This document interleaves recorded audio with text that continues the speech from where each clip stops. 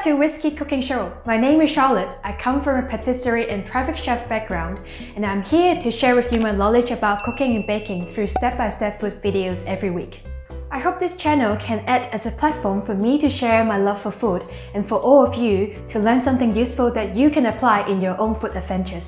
And if you have any questions, feel free to leave it in the comment section below as well. So in the last video, we did some serious business and we baked the best Devil Double Chocolate Chip Sea Salt Cookie. And today, let's take the cookies to the next level by adding our homemade salted caramel on it. Even if you have eaten all the cookies, no worries, because learning how to make your own salted caramel is such a great skill to have. As you can basically use caramel in all sorts of sweet treats. Put it on ice cream, layer it in cakes as cupcake toppings, or you can even make your own salted caramel buttercream, and the list just goes on and on and on. Learn with me a few tricks in this video, and I promise you a good batch of salted caramel every time with no fails. With no fails. Alert! Making caramel can be very dangerous, so please be careful here.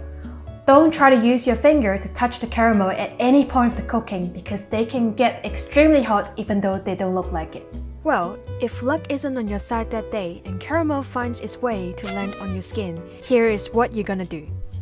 First, Immediately run the burnt area through ice cold water for a few minutes to cool the skin. Second, once the burn has cooled off and after the pain has slightly relieved, you should probably check on the unattended stove and turn off the heat.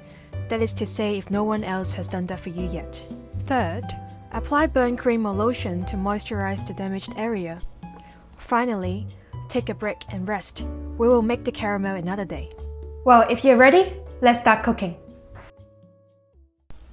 Let's take a look at the ingredients list. Please make sure you gather and measure all the ingredients before you start making your caramel. Because, well, making caramel is like cooking a steak. Things happen so fast like you're caught in the middle of a thunderstorm and it's done before you even realize it. But well, it's not gonna happen today because we will come prepared. So, this is what we're gonna do in this video. Instead of telling you all the rules from the start and let you forget all about them, I'm going to take you through the steps of making salted caramel and explain the rules and tips in the process. First, start by making a wet caramel. Put in water and sugar in a deep heavy duty pot and turn on medium-high heat to let the sugar melt completely. Rule number 1 Use a deep pot to cook your caramel because the caramel will bubble up fiercely when you add in the butter and cream, and you would appreciate the extra height to prevent the hot caramel from spilling out. Right after that, we may pour heavy cream into a saucepan separately and gently heat it up.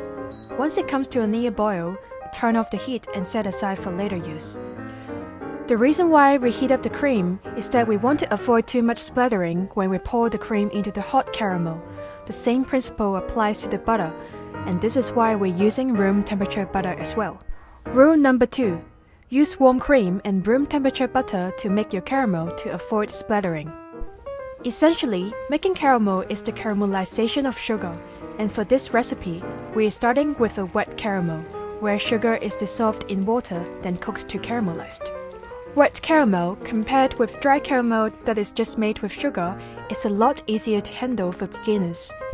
Because when the sugar is first melted in water to become sugar syrup, there's less chance for the sugar crystals to clump together, and no clumps means no grainy caramel. So here goes our rule number 3.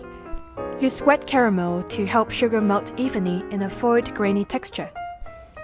It takes a good 5 to 8 minutes for the sugar syrup to change color, but don't go anywhere else and please keep your eyes on the pot. Because once all the water content has evaporated, the sugar will caramelize very quickly and color will start to change from clear to brown and amber. So rule number 4. No toilet breaks when making caramel. Once you start seeing a slight color change in your syrup, swirl the pot around gently to redistribute the syrup content.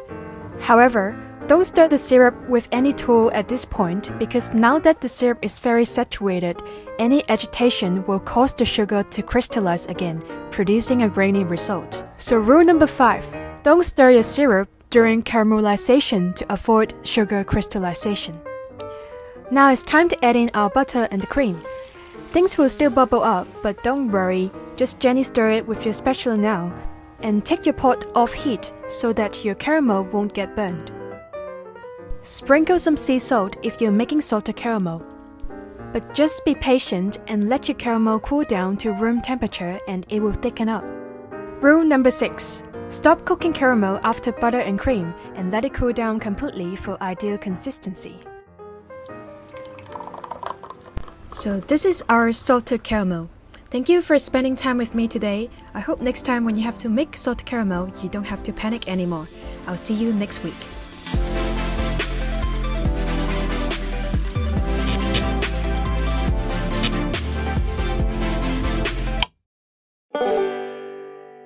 Toppings or you can even